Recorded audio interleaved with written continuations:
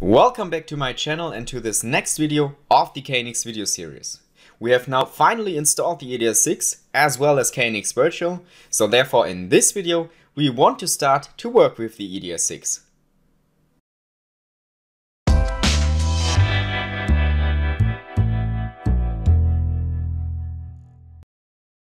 So I am here on the desktop and as you can see I have created two shortcuts. First of all one to the ETS6 and one to KNX Virtual. But we will start with the ETS6 for now. So I, therefore I will open it. And now the following window should appear if you haven't inserted an USB dongle with for example the professional license. In this window you can log into your MyKNX account. This is the case because it is announced that with later versions of the ETS6 you can use so-called cloud licenses, which are bound to your MyKNX account. Therefore, you can then log in here to your MyKNX account and then it checks if you have a license. For now, this really doesn't make sense because there aren't cloud licenses available for now. Therefore, I click here on Run Demo. If you have inserted a USB dongle, well then you should directly be prompted to this window. Now, this is the dashboard of the ETS6. Therefore, let us take a look what we can find here. So, on top of here, you can find KNX related news. So for example, new KNX devices or articles on the topic of KNX. Down below you can find the projects that are attached to your ETS6. In my case, I already have two projects here. In your case, if you have started the ETS6 for the first time, there shouldn't be any project. And this really doesn't matter as we will create a project in a few moments. And if we click here on local projects, we can see all of them.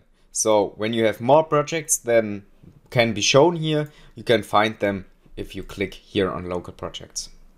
Down below here we have the archive so we can archive a project if we wanted and then, for example, if we made changes that didn't work, we can roll back to the archive that we created. On top here you have a search bar where you can search for your projects, for example. And that's really it for this dashboard. Now, what I want to take a look at is the settings page. In the settings page, first of all, we see the current version of the ETS. In my case, I use the version 6.0.0. This might change at the time you are watching this video. So for example, you could use the version 6.1.0, etc. And you can also check here for updates. But the ETS6 already checks for updates in the background when you started. So you really don't have to do it as the ETS6 will then prompt you to install the update. Then let us take a look at the other settings here. First of all, here presentation. There you can change different settings, for example, how many undo levels you want, so how many steps you want to go back. Then you can insert your own logo for the reports that are automatically created, so the documentation of your KNX network. And then this shouldn't be checked for your case, but I have enabled this prompt for project history. What that means is that when I close my project, I will get prompted to add an entry to my project history where I simply write down which changes I have made. And I think this feature is pretty useful because for example, if you make changes to your KNX installation and you document it in this project history, then for example, three months go by and you then return to those to this KNX installation and there seems to be problems after your last changes. Then you can quickly take a look at your project history and see which changes you made and what might be the cause of the problem. So this is why I have enabled it here, so that I don't forget to add an entry to my project history. Then here under user interface, you can enable or disable these KNX news, for example, and that's really it to this page. Then under language, you can change the language of your ETS as well as the product language, which I will quickly change here to English. I will restart it later. And then here, this uh, might be a little bit more interesting because here you can see the license the ETS6 is running on.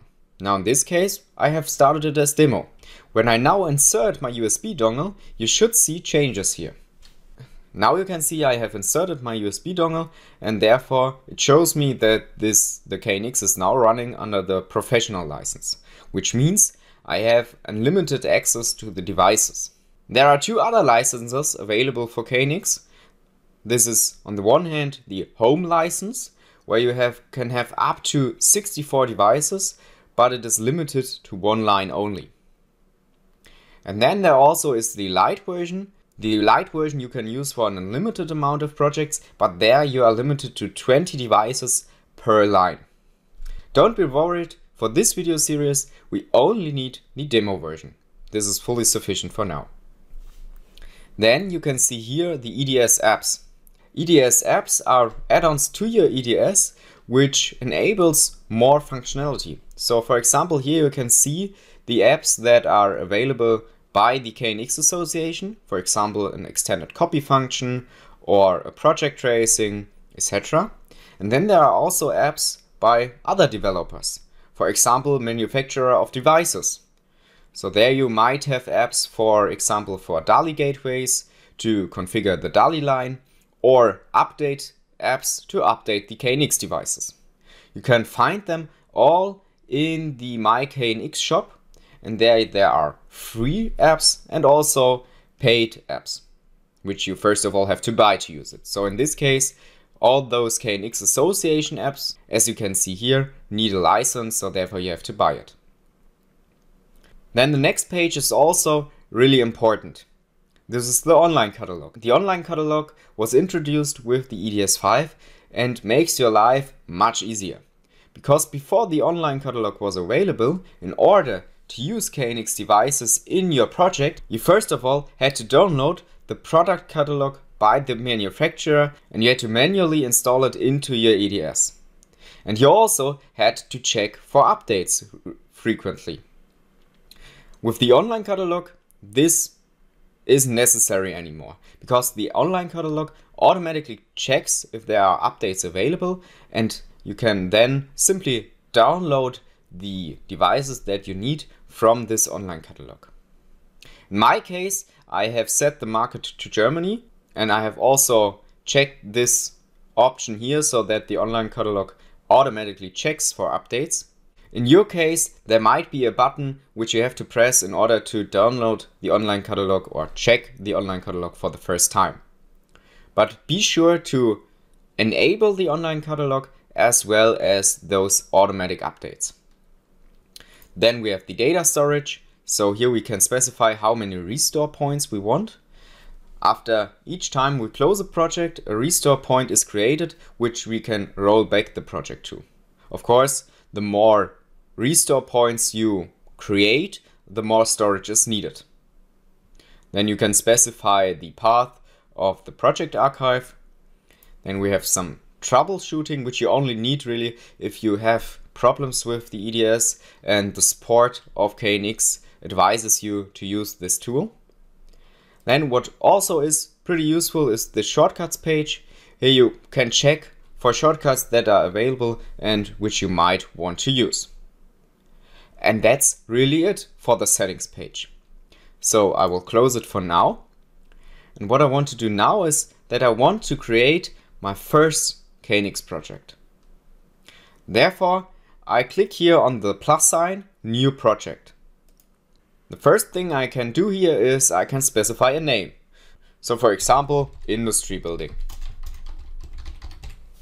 Then I can specify the project type. Now this doesn't change anything to the functionality. This simply is to make sure that you can find your projects faster. So I'll, i keep it to other commercial. Then I can specify the backbone media type. I stick here to IP, but you could also change it to twisted pair if necessary. Then this mark I also keep checked. Then this box I also keep checked so that the ETS6 will automatically create the line 1.1. And there the media type I can specify to twisted pair. And down below here, you can specify the group address style. Remember, group addresses have their own ID and there you have the option to either use a two level group address style, a three level group address style or even a free style. I like the three level approach because there I have more options to sort my group addresses. Therefore I will stick to three level and then I will create my project. And now you can see the project window. But at the project window, we will take a look in the next video. What I want to do now is that I want to go back to the dashboard. Therefore, I click here on plus to get back here to overview and then I can go back to my project, etc. And there I want to see which settings we have for a project. So therefore, I go here to details and now here in details, you can change project related settings. So for first of all, you can set a project image to find your projects more quickly. Then you can set a status. So for example, when the project is finished, you can go here to delivered. I will keep to start. Then you see some statistics and here you can add a few tags. These tags are also only there that you can find your projects more quickly. Then I can see if I have created an archive to this project. This isn't the case.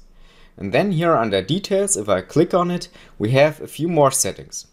So for example, I can set up a project and contract number as well as a description. This is also only for the documentation. So when you later on create the documentation for the project, as for example a PDF, then you will see the project number, contract number and the description. Then we can set a project password. I won't use it for now, but for example, when you use KNX Secure, you have to set a project password. Then there is the BCU key. Now I wouldn't recommend to use it. It might sound pretty cool because the BCU key means that you can only download changes to your devices when you have the BCU key. But if you have forgotten it or lost the project, well then the only chance to make changes to your project is to send the devices back to the manufacturer so that they can restore the manufacturer settings so that there isn't a BCU key set. Therefore, I don't use it in my projects. Then we can change the group address style later on, but make be sure that when I want to change it, you can see that the ETS informs me that all the group addresses which are already created will get lost. Therefore, you should decide when you create your project which style you want to use and don't change it later on. Then we have some compatibility options which I won't go into much detail for now. Let us go back. Here we have the security page where we then see all the devices that use KNX Secure with their keys and their serial number. I don't use it for now. And then what I find also pretty cool is here this attachments window. There we can add, for example, PDF documents like the manual of the devices or documentations of the electrical installation as a PDF or image, etc. And then we have all the documentation in one place, all within the ETS6. And then here you can see the history, which is empty for now. But if I close my project, because I have set the setting, it will prompt me to enter a project log entry, which I will do now. So I will write down project created, also in the title, click OK. And if I go now back to the details, I can see here is my project history. Now for this project, this isn't really useful, but if we have a project with a lot of changes, this is a really handy tool which you can use. So this was a lot of new information about the ETS. I hope you enjoyed the video, if so consider a like and subscribe to the channel to get notified for new videos. In the next video we want to take a look at the project window and there insert our first KNX devices. So I'm excited to see you in the next video.